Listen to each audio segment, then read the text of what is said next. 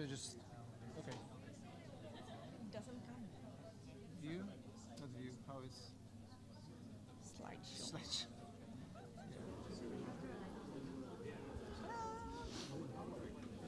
Uh, pick number from one to four. Two. Okay. So can I ask you in the open space facilitate discussion with Cool. the second? Yeah, done. Hey, um, are you going to introduce? Yeah, good.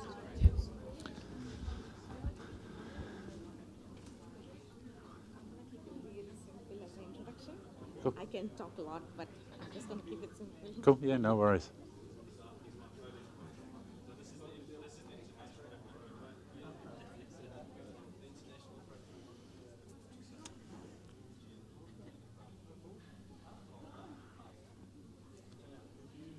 Hello, welcome everyone. Thank you so much for coming in today for the Agile Auckland um, main event. And today's topic is Agile for everyone. So it's pretty much the basics. Um, the reason for doing this is we have a wide range of membership and then we wanted to make sure everyone is catered. Before we start off, um, I just wanted to give a shout out to the sponsors. Thank you, Assurity, ASD, and uh, SERL. SERL is a software research lab with AUT who are supporting us with the venue. And Assurity and ASD have been our founding uh, sponsors. So, um, as you all know, last last event we had our new committee members start off, and um, Edwin suggested that we have a strategy meeting to make sure that we all are on the same page. So we had a strategy meeting last week, and the first thing we wanted to discuss was about the vision, just to make sure that we all are on the same page. And this is our vision, um, connecting Auckland's agile community through learning and sharing. This is what we stand for, this is what we'll try doing, and this is our driving force. And this is something we will reflect back time and again. The other outcomes or the direction that Agile Auckland is going to focus on is pretty much the open networking. We want the community to be more involved. And for that, we are going to have various um, initiatives that we are going to try and take. Um, one will be like try and have networking uh, food before the event, hopefully you talk more. And then we have speed introductions and open evening type sessions. But this is all going to happen um, over the next couple of events. So this event, the restrooms are outside the door. There's restrooms on this side and that side. This side and that side, very easy. Um, and uh, the fire exit is right out and then near the car park and the grass. Timing, um, Edwin is going to be the speaker today and he is pretty much looking at 45 minutes and then we will have uh, 15 to 20 minutes of open space. Open space, this is quite new. We were supposed to have question and answers. Instead of question and answers, we are experimenting open space. Casper, Casper is our membership portfolio person, and he suggested that instead of having question and answers, let's experiment something new. So we are going to have open space. The, but it is only 15 minutes. So the idea is try putting questions on uh, Slido. There is the password and our, I'm blank. Uh, that is our uh, user ID. And so if you could put your questions on and then vote on it, the top four questions will be our agenda items. So that's going to be our agenda, and then open space is going to be 15 minutes. We'll try and see if we can fix it in 15 minutes. And then um, Casper is going to do a quick summary. And before we go any And further. he's my family. Yeah, um, I actually wanted to introduce Edwin, but I know ninety percent of you will know him. So I just wanted to say it's my great privilege to hand it over to him, and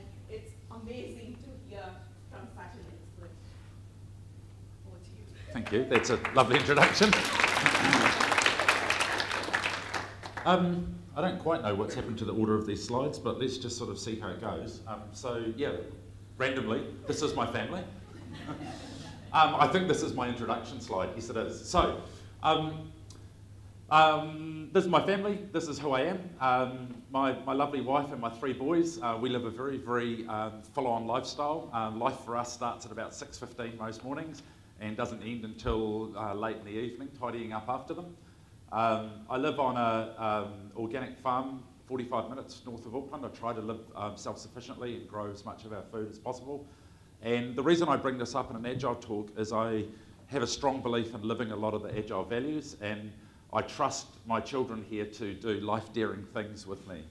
Um, so, but and try and give them responsibility and let them fail, which on a farm is a really neat way to live because children can experiment and play and they're not wrapped up in cotton wool, which is one of my core beliefs around how we help grow people. Um, so yeah, here's some pictures of my garden. Um, I try and, and, grow lots and lots of my own food, and I love going fishing. Um, one of my biggest things I love doing in my life is to get up at dark launch a, launch a boat by myself, go out to the middle of the ocean where if anything goes wrong, there's no one to blame but me, and uh, see if I can come back with some food. And I get a huge rush out of being um, on the ocean at sunrise. Um, one of the other things I get a real kick out of is I teach children computer science. Um, this is my nine-year-old son, Henry, um, and I try and teach them, um, if any of you know Dr. Tim Bell down in Canterbury, he, uh, Canterbury Uni, he wrote a program called CS Unplugged, which is Computer Science Unplugged. And it's a program that allows children to learn computer science without computers. So, for example, we spent a, um, a few hours going through how pixels work and what a pixel is and, and going through all the concepts, but we do it in a very tangible way using um, things that we'd often use in agile training, like we go out to the netball court and use hula hoops and chalk and go through sorting algorithms by going through steps, and they, they learn concepts. And um, it's really cool. The children pick up a lot of these things incredibly quickly. And the reason this is important to me is the children, the skills children need in the future are going to be radically different from what we do today. And I think it's really important that we start thinking around more as an agile community, not just around what we do in our workplaces, but how we spread this thinking further out into our community. Um, as my day job, I work as I'm the GM of Assurity Auckland. Um, I run the Auckland branch.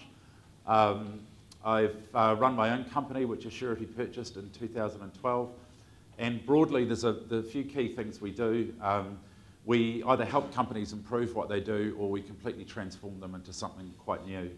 Um, and, and really, at the basis of a lot of what we do is an agile mindset.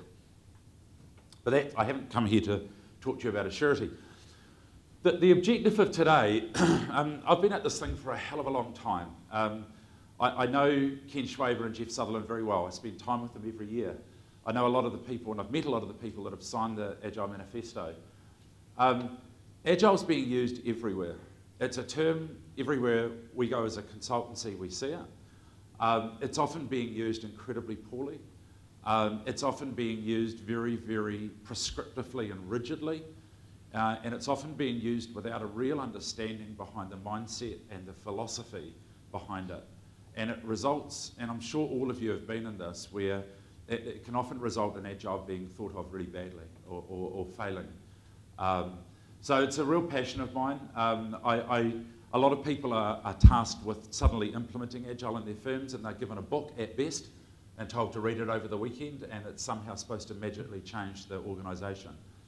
So I wanted to do a little bit of a reset here. Um, the, the, the, there's that and the fact that what we've noticed in our member base is there's a lot of people coming to workshops or coming to these events and they're sort of struggling with some of the, the, the basics. So I thought, let's go through and reset right from, from the, the basics. What is Agile? What is it about? Um, and that's something that we can build on. So I hope I try and achieve that objective tonight. Um, I want to start talking around why. Um, it's always a sort of really interesting point to start why, because it, it drives why, why would we even try this new thing? It's, we all know it's kind of hard getting people to take it up. Why would we even try and attempt to convince an organisation to change how it works? Um, if you think back to the way we worked last century, the way we worked was very much like this production line kind of system. The, the, the, the objectives of, of, the, the, of management were to try and make things as efficient as possible. And management in itself as a concept really became popular in the early 1900s, 1902, 1903. A chap called Frederick Taylor wrote a book called Scientific Management. And what the original management was created by engineers. They, they had a belief that people could be like cogs in a machine that could be turned up, turned down, swapped in, swapped out. And it's because the world they lived in was this sort of world. The, the, the systems were designed for mass economies of scale. It was about efficiencies to get huge amounts of goods to people to improve their standard of living. Know, think industrial age, think of the differences of what occurred in that age. Everyone had wanted to have a motor, uh, automobile, and the best way to do that on mass is produce very similar ones. So the idea in these sorts of production systems was to remove variability. It was considered an enemy. It was all about consistency. So it's a very efficient system for mass production. Um, very, very good for, for pumping out thing, a lot of things. But its challenges, it was very difficult to change. If someone wanted something different, it was very uh, challenging to do that. And um, there were very, very long lead times. You had to sort of wait until your thing came out the end of the production line. And ultimately, the goal of this was predictability, which was what they're after. So their business was highly predictable. But if you think about where we are today, in the, in the idea, in the world where things are constantly moving all the time and we're trying to compete against others, then predictability equals death. So in warfare, when, a, when a, an army fights to, to achieve some sort of objective, it has a goal that it wants to head towards. It has a series of teams that get given just an objective, and then they get given the freedom in teams to communicate with another, one another and inspect and adapt to the landscape in front of them and dynamically change their plan in order to hit an objective. They don't get given this. And the reason is because if they got given that, they would last about 30 seconds and they'd be dead because they're predictable. So, in, in this day and age, businesses are becoming this, this is the reality of our business world now. If you are predictable as a business, it's pretty easy to beat you because we just have to figure out what you're going to do and do it better. So think about this quote that came out recently from Gartner. A third of businesses today won't survive the next 10 years. You know, you could play this back to the, any of the revolutions we've had. The Industrial Revolution. Look at the jobs that no longer exist. You know, the matchmaker or, I don't know, whatever it was that you did. So we're going through another one of those radical transformations right now, and there is going to be significant disruption. So being a very predictable, stable business makes you phenomenally brittle and it makes you phenomenally susceptible to being disrupted. So, um, yeah, remember these guys. Anyone, what thoughts on Kodak? Anyone sort of was loyal to the Kodak brand? Yeah, it was a great, great thing that a lot of us were really into. Same real buzz with BlackBerry. You know, think of execs with their Blackberries. Um, Blockbuster had the opportunity to buy Netflix and never took it. Nokia had the opportunity where they were presented a flat screen phone with no buttons, and they said, yeah, not important at the moment, delay it. And look at where it ended, it ended up for them. So the ability to change has become so paramount that I make the argument that now delivery trumps strategy. That having the perfect plan is no longer sufficient. The ability to be able to deliver and pivot and change as you need trumps strategy because you can have an adaptive strategy. So these guys couldn't change fast enough. So if we go back to Darwin, the, the whole one of the, Darwin's key concepts is it wasn't the strongest species that survived, it was that that could adapt the fastest. So why agile? It allows us to be able to adapt, and that is the, the key concept underlying it. So the sort of the, the picture I have in my mind when I think about those companies there's a lot of organisations that, that, and you know, I'm, I'm never going to name names, but I can quite comfortably say I spend a lot of time speaking to a lot of people with silver here who are standing on top of organisations that are facing this. They're very nervous about how they're going to cope with the future when the platform around them is starting to catch fire. So um, let's just do a quick exercise. Um, we'll just do a really crude model. I want to do get a feel for, uh, do you think you're really maneuverable? Do you think that you're kind of middle maneuverable, or do you think that you are kind of like on a oil tanker that you know takes miles to, before it can change course? So let's start with the uber highly maneuverable. Who in the room here is feeling that they're in a really maneuverable situation? Okay, it's probably, I don't know, eight, ten. Uh, in the middle, who's sort of feeling that they're working the, okay, so a reasonable collection. Who feels they're working on a sort of more of an oil tanker, very difficult to change? Oh, yeah, probably, it's probably a really awkward question to ask you in case you've got colleagues around. Sorry. um, so I, we, we, we know um, work with execs doing um, agile thinking for executives. Um, this, this question is what keeps most CEOs up at night. The one, one, one said to me, he said, uh, it's like I'm standing on the top of a ship, holding onto the wheel, and it's a really big ship, full of people I love and care about, and I turn the wheel, I see an iceberg coming, I turn the wheel, and nothing happens. That's what keeps me awake at night. It's not the ability to see the, the icebergs or the impediments, it's the ability to turn and maneuver them. And when I do turn, the rest of the organisation turns with me. So that's what, what concerns them. So um, to me, that's in my mind, what agile is. That's the why. That's why we do this. A lot of people think, you know, we do this because of um, it gives us the ability to change software. Yes, but increasingly, um, we're finding a, lo a lot of our work is well and truly outside of software. It's around how do we make our organisations more agile. So to me, that is the underlying thing that, that covers everything. It covers software, it covers business. It's the ability to be able to change. So if we sit um, I, I, saw this come through on Twitter um, just recently. It was just last month, and I actually thought it was really, really interesting. Um, a lot of people, is, this is from um, Jim Coplien, who's um, one of the sort of really old-time agilists. Um, a lot of people think that Scrum and XP came out of the Agile Manifesto, whereas the reality is they actually fed the Agile Manifesto. It sort of wasn't as clean and simple as a bunch of people got together in a log cabin and came up with an epiphany and they went, oh, here's some cool philosophies that are going to last 16 years or 20 years. Um, let's put these together and, and hopefully we all go off and develop really nice frameworks that work with them. It didn't really work like that. The, there was a bunch of things that led up to um, Agile. Toyota production systems right back into the 50s um, of, of the idea of quality being paramount. That if there was a problem in the production line, anyone had the ability to stop the line and be able to, to make sure that we didn't continue work on something that was faulty, because that's dumb. We have to go back and do rework, and that creates failure demand.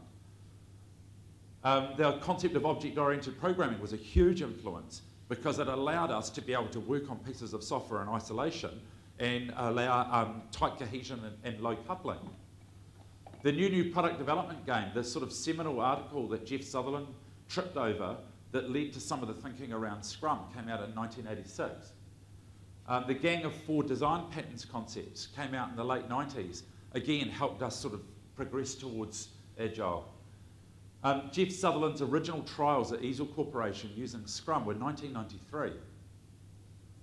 And um, then Kent Beck uh, and Ward Cunningham came up with the extreme programming concepts, which kind of took a lot of this thinking into a more engineering land and helped people who were actually writing software to come use these concepts.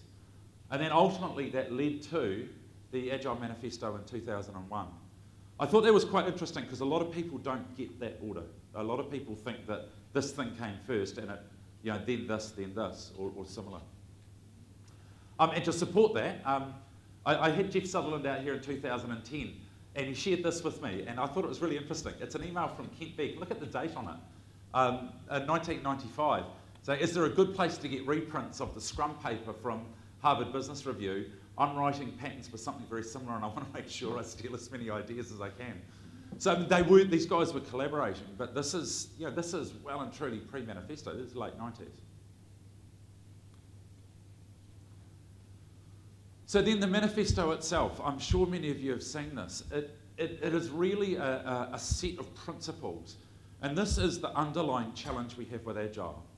That manifesto is an abstract, conceptual thing by nature. It is non prescriptive. It doesn't tell you how to do Agile, it tells you what the mindset and the thinking behind it is trying to achieve. And the challenge with that is lots of people have gone out and struggled. They want more. People want something to follow that gives them that outcome. So they tend to reach for things in a more recipe book kind of prescriptive manner. And that's where we often see the really rigid, forced, uh, dogmatic um, applications of Scrum or, or other agile frameworks, is, is that gap between what people understand now and the abstractness of, a, of something like a manifesto.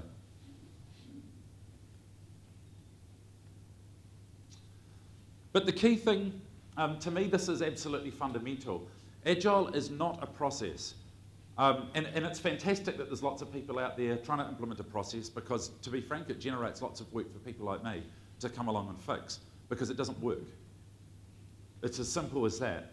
Agile is a mindset. We must get our minds around how to accept ambiguity, to not plan everything perfectly up front, to accept there will be change, to embrace that change, and to be able to put in systems that provide transparency so that everyone can see what the hell is going on without the need for overly detailed and wasteful plans.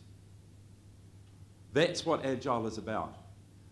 It's a mindset wrapped by a set of values, which I just showed in the manifesto, that are wrapped around a core set of 12 principles that back up the manifesto, that then are supported by a number of practices, which are then collected into a series of different methods or frameworks. Scrum, Kanban, XP, feature driven development, whatever the hell you want to use. Don't be fooled by going out and trying to implement Agile at this level only. You will end up with a hollow implementation that at some point will collapse because the core mindset and the thinking style behind it won't work. And I'm sure many of you have been through this, right? You've gone back, bushy eyed, star, starry eyed, bushy tailed. Woohoo, I've been through Scrum training. I'm going to go in and, and, and start this now. And you get your team going, and things are going well. And then you run up against number of organisational impediments, a PMO, a management group, a broader organisation that doesn't understand what the hell you are doing. And it's because we haven't thought about this mindset and values of the organisation and reaching out further and helping people think differently. So this slide comes from um, Ahmed Sidky, um, who's a very, very interesting chap. He, he's Director of Development at Riot Games. Um, over in, in the States and um, a long serving Agilist. Um, and I really like the, this concept. I mean, his view is he led the agile transformation at Verizon Wireless. And um, in his first 18 months of that transformation, all they did is focus on collaboration. So they focused here on the mind, agile mindset around collaboration. They didn't even do iterations. They didn't go out and start doing stand ups. They just focused on a culture of collaboration. So they approached it, I mean, if, if we think of it as sort of approaching it with a, a, almost a vertical, like we're going to go out and do this thing called Scrum, he approached it from a total tangential angle. He came in and said, actually, we're going to focus on, across everything, a mindset first. Let's not worry about a framework. So quite a different way of thinking about Agile. We're going to talk a little bit more about that shortly. Um, or, or now. Have a quick look at this while I grab a drink of water. Um,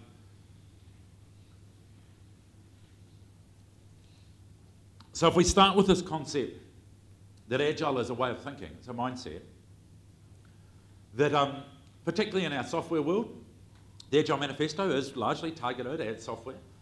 Um, there's the four key values, so four key values here grounded by 12 principles, 12 principles, and manifested into sort of a concrete world that we can play with and use around an unlimited set of practices, new practices being developed all the time, new ideas coming up all the time. The frameworks that we know are merely a collection of these practices. That's all they are. So Scrum is a collection of useful practices as is XP, as is Kanban, as is any of them. The key thing is, though, starting out just doing this does not by default give you this. We need to be starting with this and then finding these that work for us. Does that make sense? Has anyone got any questions? Because it's a very, very key point. Has anyone got any questions or thoughts or comments on, on that point? No? Okay. So um, I hauled this out of the latest VersionOne survey. Um, it always sort of varies somewhere between 55 and 70% um, of, of organisations use Scrum or Scrum and XP.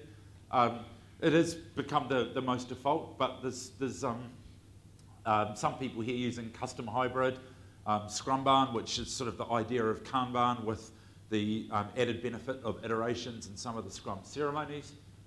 5% um, are using true Kanban, and then it sort of goes into a small collection of, of ones that are either I don't know or I use pure XP or, or whatever. But you can see over the years that Scrum has become the dominant framework. And it, my, my experience has mainly been with Scrum. I'm a trainer with Scrum.org. I, I, I spend a lot of time connecting into the Scrum community. My personal belief is that the reason that Scrum has been so successful is you can almost go to the shelf and pull a shoebox off the shelf, take it away, on, put it down on the table, lift the lid, you can pull the pieces out and you can kind of figure it out. There's three little roles there that, that make sense and you can read the description of them. And there's sort of five key events that you can understand and read how they work. And you know, there's three key artifacts and you can read about those and understand how they work. Um, I think that's the reason it's probably been the most successful was because it's the most accessible and it's been reasonably well packaged to, to be understood. Gee, why don't we see if we can reflect and see if we can get a measure um, of in the room whether this is even remotely close. Who would say, for show of hands, for those of you, actually let's start with how many of you are doing Agile? I get a show of hands? It's probably half.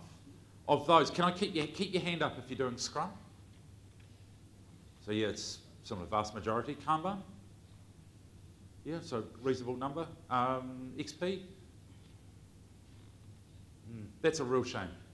That's a real, real shame. And the reason is XP is, I mean, uh, let me rephrase it this way. What happens when you leave the daily scrum, the daily stand-up?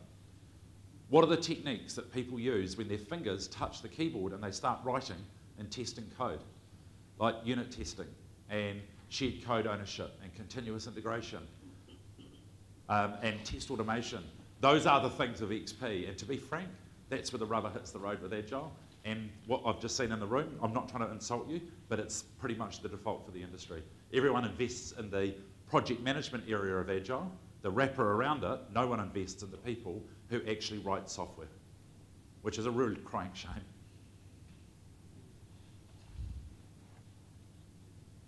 Um, so the key point I want you to take from this, there is no methodology called Agile. I am sick to death of hearing people talk about the Agile methodology or the agile process. It doesn't exist. Ask that person who tells you about the agile process to please draw it for you. Invariably, they'll draw Scrum. There is no agile process, it is just a philosophy. That's all agile actually is.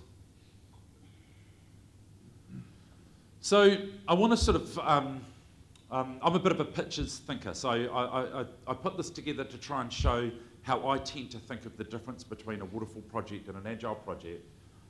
If we have time going this way, a, a, a, traditional waterfall project goes through its key phases. We do all of the analysis and we get a nice big document. Then we do all of the design, which often means going back and fixing all the things that were wrong in the analysis. And again, we get a nice big document and some pretty pictures, and we get an architecture diagram and all of that. We then do, try to do all of the coding and then find that the previous two steps are normally wrong and go back and rework those as we do this one as well. And once we've done all the coding, we then do all the testing and it just exponentially gets worse because we find that not only was the code wrong, but the design and the analysis before it was probably wrong as well. So we tend to bake in waste and rework in problems. And we think of it very, very sequentially. And if you think back to the VDub production line, this is a, a manifestation of that thinking in our software world. We do this, I screw the door on, and then I finish doing my job, and it goes to the next guy who puts the window on, and so on and so forth. We're not thinking about the whole, we're thinking about our piece of the problem. Sure.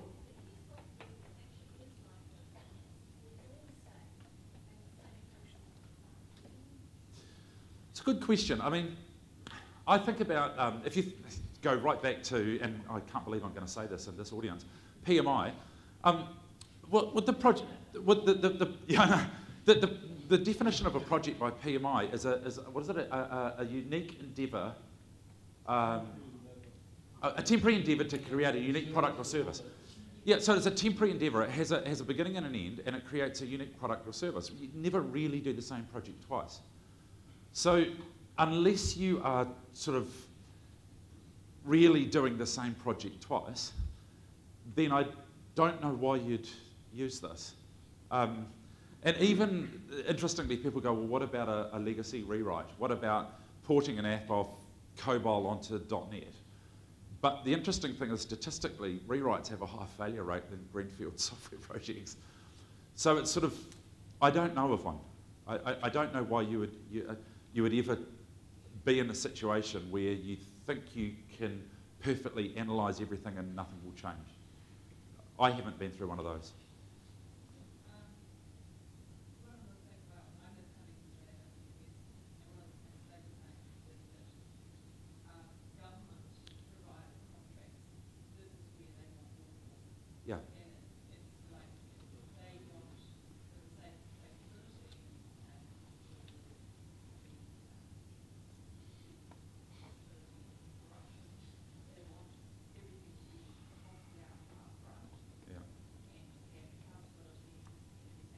Right.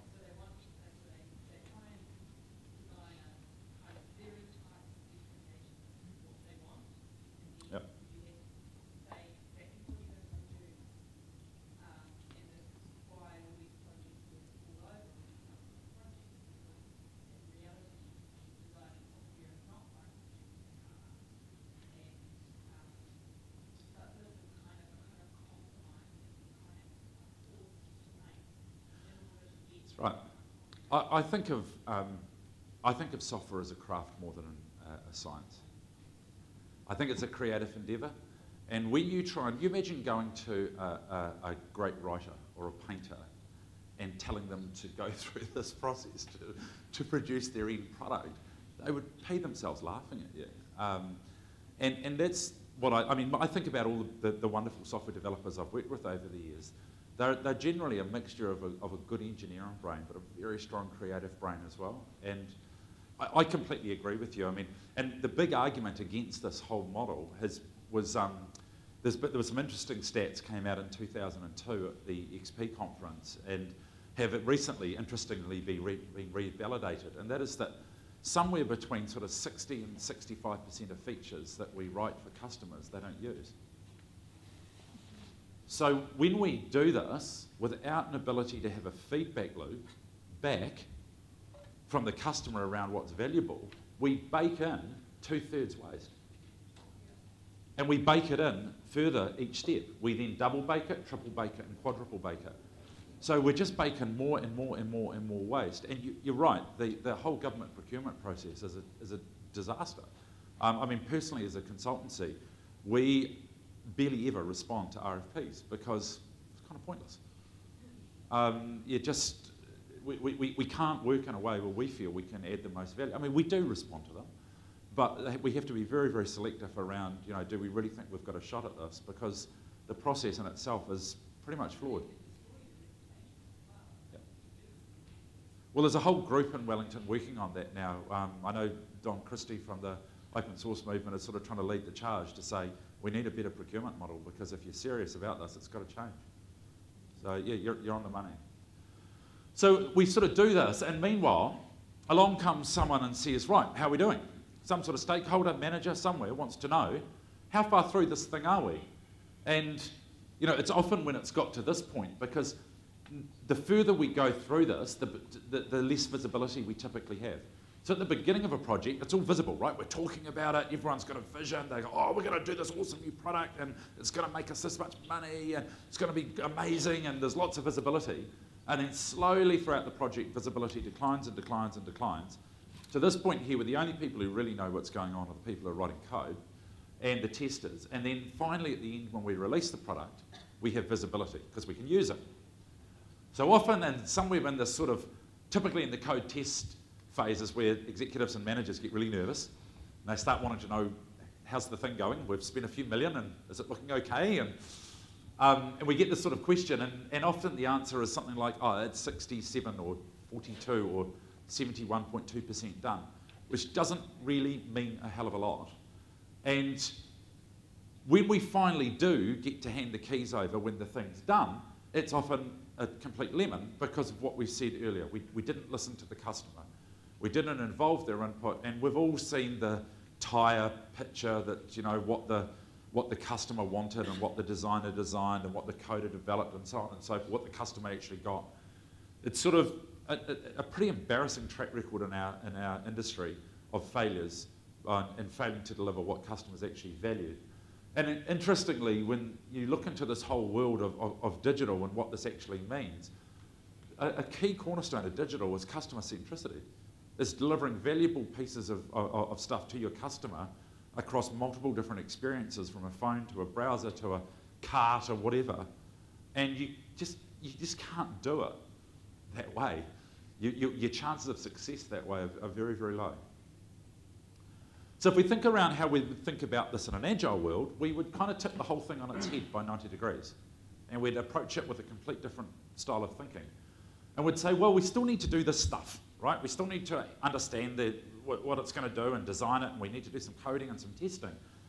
But instead, we break it up into small features or slices of what we need to be able to give customers. And we can go out and deliver each one of these slices and get feedback. So that when someone comes along and says the how are we doing question, we can look at this with confidence and say something like, five things are 100% done, finished, and can be used by the customer now. They're in production. Done. 10 things haven't been started. We know where we're at. There, is no 72%. There is this stuff's done, this stuff isn't. It's quite clear.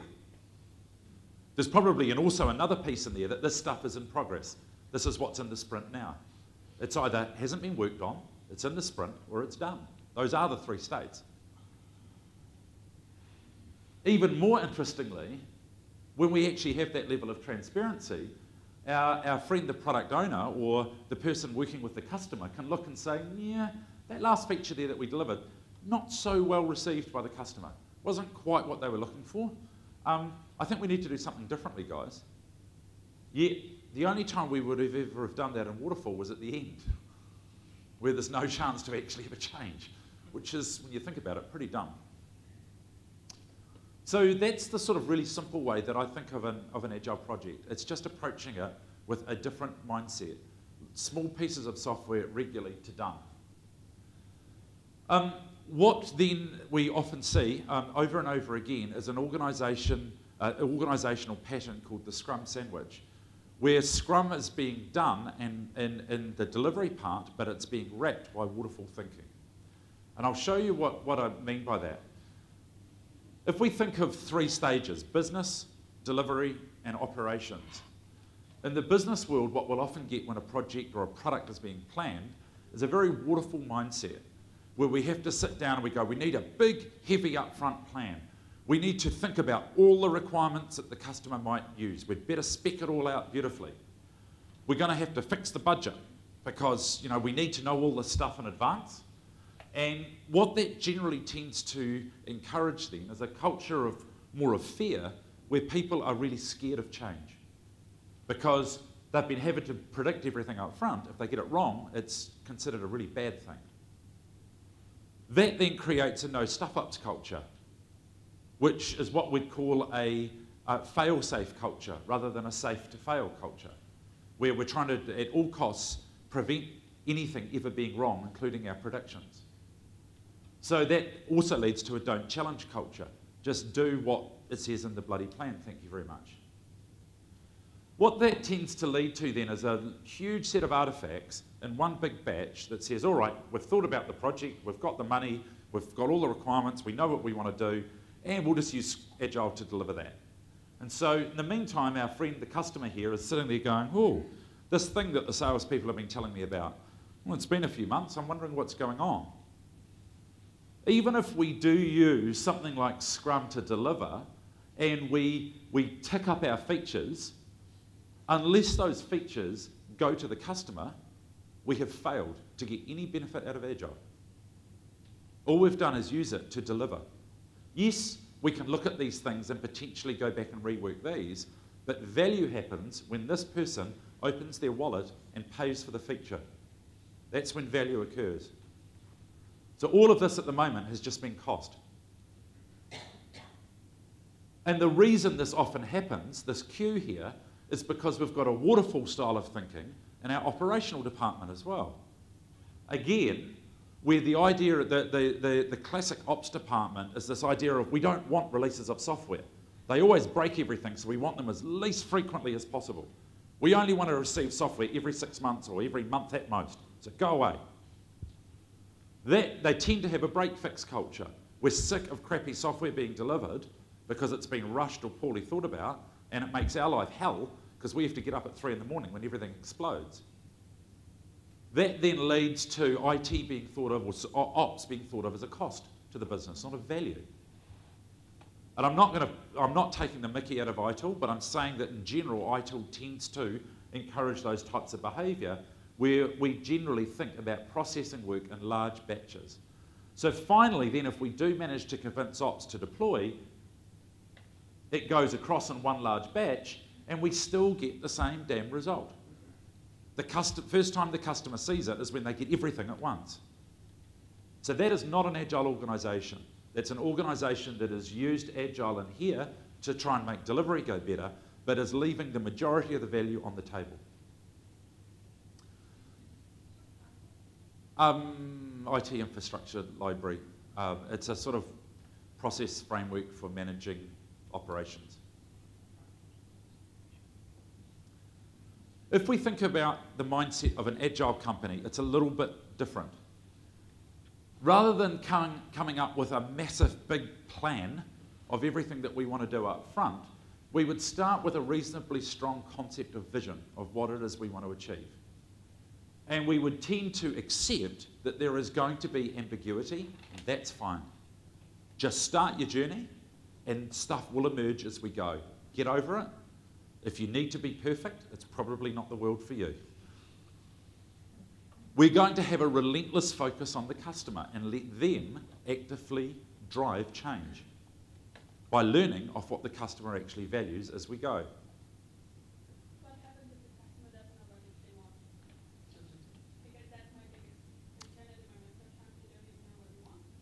Let me temper that slightly.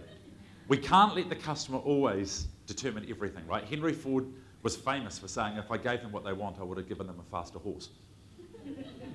right? So, and, and there's, a, there's a great similar article written once that said BA should invent requirements. And I absolutely believe that. You can't just do exactly, I mean, you never would have invented an iPhone if you'd just done what a customer wanted, right? So, let, let me temper that slightly. Don't let the customer drive everything. We'll learn from them, though. When we work in this type of world, it gives us a different culture. It's not a fail safe culture, it's a safe to fail culture. If we do fail, it is only within the context of an iteration, and we can use that failure to learn so that we can improve. It's a feedback loop. That then might give us a piece of a plan, with the acceptance that we will figure out other pieces of the plan as we go and learn. So we will take a piece of this concept and vision and we will run some experiments with the market to validate is our idea here a complete pile of poo? Or is our idea here actually, does it have some legs? Maybe we can reduce risk by testing it with the market quickly. But the only way that can happen is if we have this a very, very differently structured operations department. One that is based around quality infrastructure, uses lots of automation to reduce their fear of errors, which is what keeps them awake at night, focusing on flow based delivery and customer focus, and so that operations can be seen as a value center. They're part of the value chain to the customer, not a necessary evil, but a very, very important step. So now we've got our initial little piece of hypothesis through to the customer, and the customer's got something that they can come back to uh, us and give us feedback on.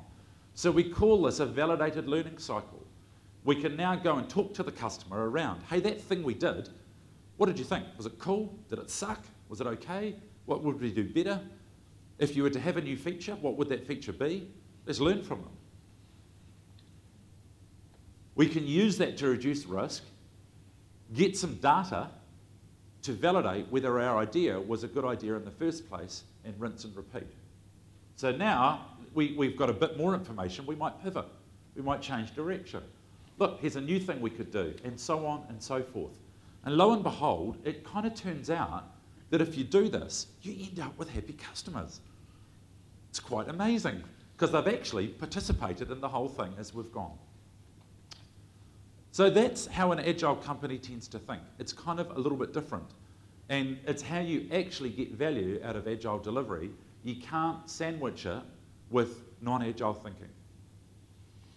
So DevOps has largely solved a lot of this problem, and the, the, the, continuous delivery movement has solved a lot of this problem. It is very, very commonplace now. LinkedIn use this to go live six times a day.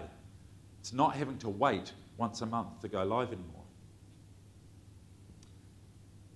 So um, I'm not going to go through a lot of detail about Scrum. I'll just touch on it briefly. Um, it is, in essence, a very light framework. It's got some very, very clear roles and responsibilities. It doesn't tell you how to do engineering practices like write code, test code, doesn't tell you how to be a BA. Um, it's brutally honest and it is ridiculously simple. It's three roles, five key events, and three artifacts, and that's it. Um, it's very, very difficult to master because it is ridiculously, brutally honest about what's happening, um, because underpinning it is transparency. Um, so the three pillars of Scrum, what it's based on, it's based on the belief that if we can have transparency around the work, we can make decisions based around the transparency of the work that allows us so we can inspect the work, and based on the reality of what's going on, we can make adaptations as we go. So this idea, almost like a heat-seeking missile, that we can look at what's happening now, and if the target's changed, we change with it. Um, and there's a video here. I'll, I'll, release these slides so you can follow through on this. A, the, this is the, most of the videos out there on what is Scrum are, are absolute rubbish, to be honest. Um, this is one from Lyssa Adkins. It's mostly right, um, but I'm going to pull her up on this. There's a few things in there that aren't right. Um, she's got the daily scrum as a, as a commitment meeting, it is not a commitment meeting. It is a daily planning meeting. It is where we get together as a team and use the evidence of what was done um, yesterday to figure out what's the best thing to do in the next 24 hours. Um, and the other thing she's got wrong is the sprint review. It is not a show and tell or a demo. It's a complete misconception. The whole point of a sprint review is to look at the piece of software we've just delivered and based on the evidence of what we see in that piece of software, to figure out what should we do in the next iteration. So the outcome of a sprint review is an updated product backlog. That's the point of it. It's not a demo where we look at the software, clap our hands and walk away and go, well, that was nice. The point is to look at the software and use that to decide what to do next. What's our next optimal move in the backlog? Um, what is Kanban? Again, I haven't come here to teach you that. You can read that in your own time. Here's a suggested video, Kanban in five minutes. Read about it. Um, you should be doing this if you're interested in Agile, educate yourself. Um, but what I will try and wrap this up with is some common failure scenarios that we often see. Um, this is the first one. In particular, when you get going with Agile, the frameworks like Scrum and Kanban exist for very, very good reasons. Scrum hasn't just been some little idea that someone came up with that they think might work now and then. It has been using science and psychology and trial and error it has been refined over a very long time to, with each of the, the events in Scrum playing a very, very important role. You don't just whip them out because they don't suit you and you don't like what you see in the mirror. If you don't like, if sprint planning is failing for you or your sprint retrospective shows you that you're really, really crappy at, at testing, fix the problem. Don't take the retrospective away. So a lot of people do this in Agile. They think, it, in Scrum in particular, they think I'll drop the bits that are really ugly and painful and make me wince. Don't do that. Be honest. Don't change the mirror if you look like that. Change what you look like. Um, doing the mechanics without understanding the philosophy is a very, very common scenario. I talked about it before with the agile mindset. When people just blindly follow the process and haul out the Scrum guide and say, on page 14 it says. You know, if you don't understand why it says, then you've kind of missed the point. You've really got to understand the thinking behind it. And remember, something like the Scrum Guide is, in essence, a number of different books condensed down into 16 pages. There is a huge amount between the lines, and you need to really stop and reflect on each of those sentences in there to think about what is it they're actually saying. Um, the other one we see is agile from the neck down, where the organisation is still governed or run or controlled in a very, very traditional model. So the, the head is alien to the body, and they tend not to talk to each other.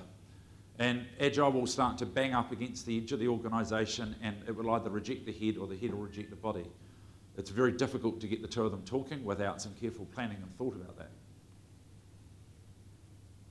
Um, reading a book and just doing it, um, which is the most common scenario. Um, I see a lot of places that have just said to their people, here you go, here's a Scrum book, read it, how hard can it be?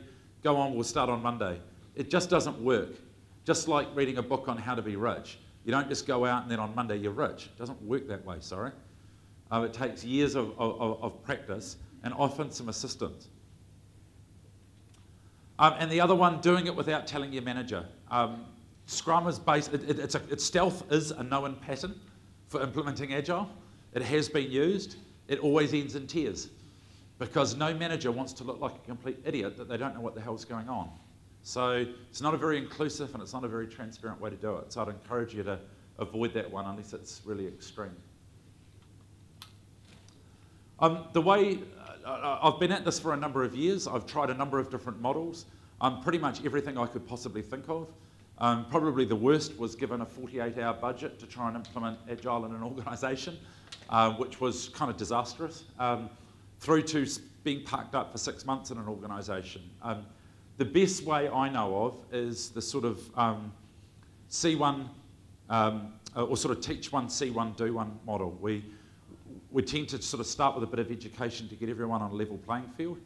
We then come in and take over and, and run a few iterations and show it actually working and coach and develop and then ease off, take the, to, to a model where we're just the trainer wheels, and slowly those trainer wheels come off, and voila, you're riding a bike.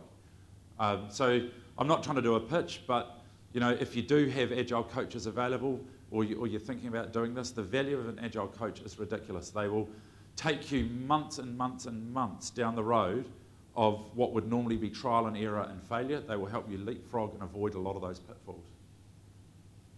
Um, and there's also the thing to be aware of is there is a truckload of other stuff that happens. One of the secrets in particular of Scrum is that the point of Scrum is to highlight and every single deficiency you have in your organization and to put them in your face. And the point is so you can fix them. That's how you become very, very efficient. Not by running away from your weaknesses, but from addressing them in the mirror and fixing them. And Scrum slaps you in the face with that every two weeks and reminds you that you need to improve. So the sorts of things that tend to come up is communication in most organisations is pretty shoddy. Um, technical practices are often really, really shoddy. Look at the example I gave you earlier of how many of you are using like XP type practices. Um, so things like testing becomes really, really, really important quickly because otherwise you're doing the same regression testing every single damn sprint and it becomes really wasteful. Um, things like continuous deployment, so releasing software frequently, the inability to do that starts hitting you in the face every couple of weeks. The idea of um, the teams, when they start demanding from product owners, tell us what is the most valuable things that our customers want. And a number of, most of the product owners I work with, I ask them one simple question to start with. When was the last time you went and sat and watched your customers use your software?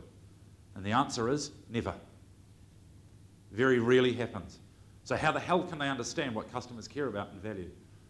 So value becomes very, very clear, very, very evident quickly. Um, the ability to manage a portfolio of projects becomes very, very evident because people are trying to shove three or four projects through a scrum team and they're having to switch all over the place and there's waste everywhere. Um, and so we, oh, I'm going to skip evidence-based management, we're low on time. Um, so that's it. That's all I really wanted to share with you. Um, I'm going to share these slides out, follow up on some of the resources. Um, I would really strongly also encourage you, get active on our LinkedIn group. Um, the, the, Agile Auckland has a LinkedIn group with nearly 2,000 members. Um, most of the people in there putting stuff are just us in the committee. Use it to ask questions. Use it as a community to support one another.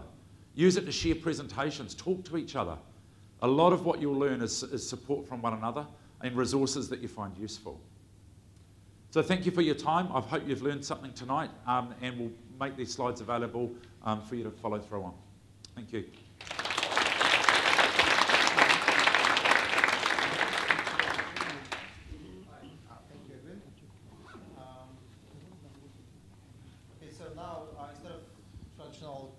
Q&A session, uh, I would like us to try open space formula. Um, I will skip maybe the principles. Oh, we, on the slide there's five, six maybe questions. Uh, if you haven't a chance to look at it, you can do that now. Uh, go to slide.do, uh, hashtag APN. You can see the questions. You can vote on the on the questions. Uh, there's already a few questions, and we'll choose four more most voted questions. We have four uh, spaces. First one, the second one, the third one, and the fourth one in the, in the back. Uh, in topics or questions that you are most interested in, just uh, go there and we'll have a 15 minute, minutes time box discussion around those four issues. Uh, if it's possible, the authors of the questions, if they can go to the own uh, question that will be very useful uh, so they can give more uh, input to the team. After that, we'll do some short summary to the whole group, to the whole audience. And yeah, that's it. Thank you. Um, I will open now the uh, Slido. Yes, uh, in each of the corners, there will be also one of our uh, committee members, which is experience, will, which will help you to go through your concerns and questions. Um, okay, so we have those four most popular questions. How do you find the correct way to implement the practices derived from agile mindsets for your project? It will be the first corner. Uh, what does an agile-minded project team look like? Second one, oh, it's changed, okay? Agile-minded project team look like the first corner, uh, is the second one. The third one, uh, can you work in an agile environment in an industry company? It's the, in the, in the site there. And the fourth one, what is the, what is the place? Oh. okay, not, not, not sure what to do now. You need to give some time for the people to involve to the future. Yeah, okay. So let's, let's I give him one minute good suggestion, thank you.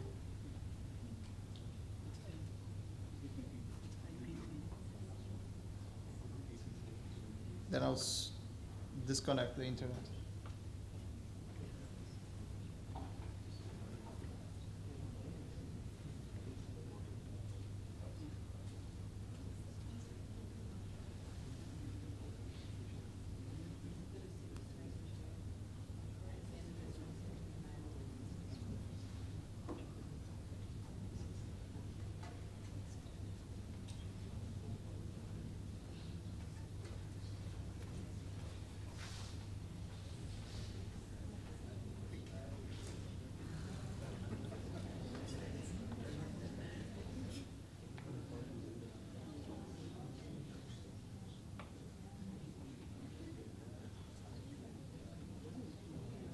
Okay, uh, thank you. I would like ask you to stop voting.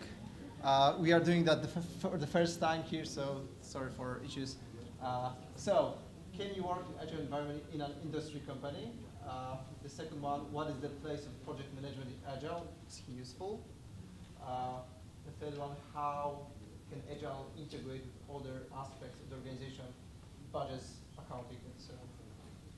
The third one and the fourth one, uh, what does agile-minded project team look like? Okay? So I would like to stand up, go to areas, to, to the spaces that you are interested in. and let's start a 15 minute discussion. It will end at